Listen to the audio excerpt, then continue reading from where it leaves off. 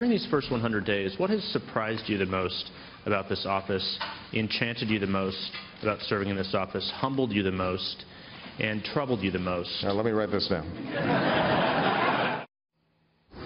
Yeah, those were some tough questions, weren't they? Those were gotcha questions. My political panel is back, Angela McGlowan and Jessica Tal. Angela, listen, Yes. I mean, okay, we took some of those excerpts to make Right. a point, but I think it does make a point. Do you not agree? Well, it makes a point from the standpoint of this. A great man once told me the sign of a great journalist, Ashley, is when mm. you read their article or you listen to their newscast and you can't tell if they're Democratic or Republican. The bottom line is this, mm. if you are a journalist, you're supposed to report the news story, but you can't get the story right if you can't get access. And I think that reporters should prove that they should gain access on how they report. That's how I feel. Yeah, but of course it's all in the eyes of whoever's watching it, and, and we all look at the world through our own very biased eyes. I mean, it's just the way That's it is, true. unfortunately. But it's a good point, Angela. Yeah. Jessica, to your point, you said earlier, well, we were commenting on President Obama's suits and everything else, but your golf game, is it good as Tigers? And what's enchanted you most about the White House? I mean, come on, it was a love affair. It was a love fest. Uh, certainly, listen, I, I haven't been in love with Barack Obama myself, so I understand it. I would just like to point out, if we just We'll go back, therapy, don't worry. my parents are already paying for it. Um, Okay. No, if you go back just Like a true couple, liberal. like a true liberal New Yorker. Thanks, mom and dad.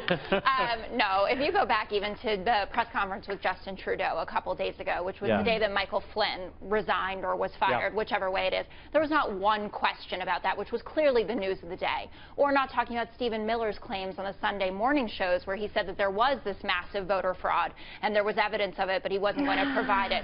So yes, we do have eight years of Obama press conferences to cherry pick from, and I think certainly. uh, Listen, we know about certain journalists and, and their partisan leanings, and that's on both sides of the aisle, and that's not a good thing. No, two wrongs don't make it right. I, I, I agree, Jessica. Two wrongs Good news, don't make it back-to-back right. But- segment. See, but you guys, it's, this is a Loving finish you.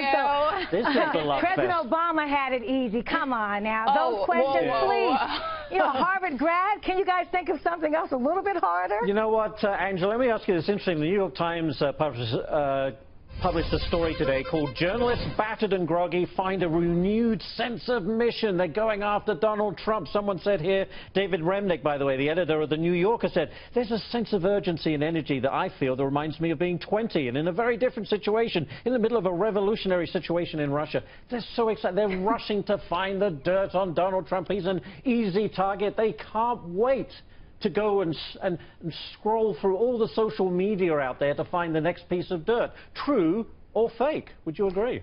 Look, the bottom line is, here we go. I'm going to go back to what you said, dealing with the cafe drinking, what the coffee drinking, latte drinking Yes, type yes. of liberals, a double standard. That's them talking down to us that we made the wrong decision in electing Donald Trump. Get over yourselves and report the news. That's why people are having a problem with Trump press conferences. They're not reporting the news. You know, it's pretty funny. Donald oh. Trump called out CNN's 10 o'clock show. Is that Don, Don Lemon's show. He is not a fan of Don Lemon. Right. Well, I, I, to be honest with you, I've never seen it. I'm usually asleep by then. I get in early. But Well, I stay up late to watch is Don it Lemon. is it as bad as he says it is? Is it just bash Donald no, Trump at every step of the not. way? And there are Republicans on the panels. I mean, it, they're fair and balanced? Really? I, I feel like I'm not supposed to use that catchphrase in another network. I can't But- say Because this, you're guys. liberal. You don't understand Guys, it. I I can't don't say understand this. anything. I, I can say this: the president did put in a great plug for Fox and Friends. I like that. That he was did. Good. He Yes, did. but he Yes, also he said did. things like the rollout of the travel ban was really smooth, but they just got a bad court. I don't know how you just get a bad court in the United States of America here. Well, Ninth You know? Circuit is often overturned, let's be honest. I mean, Angela, we're laughing, but did Donald Trump overall do okay today, or did he just make his critics, you know, get into a lather even more, or did he, you know, did he make, score some points? I think he scored some points with certain people, and I think Mm-hmm. he made his point. But now let's put it all behind us. Let's stop this war of words and let's get on with leading the world. That's what we're supposed to be doing, people.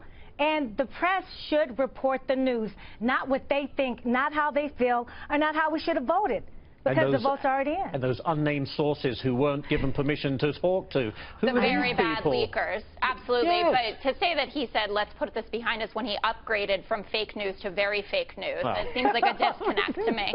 That was pretty funny. You All right. gotta admit that was funny. That was He even, he did get Acosta laughing. He so. did, so, Yeah. you know, the world's okay guy. because laughing. All right, Angela, Jessica, we're laughing too. Thanks so much.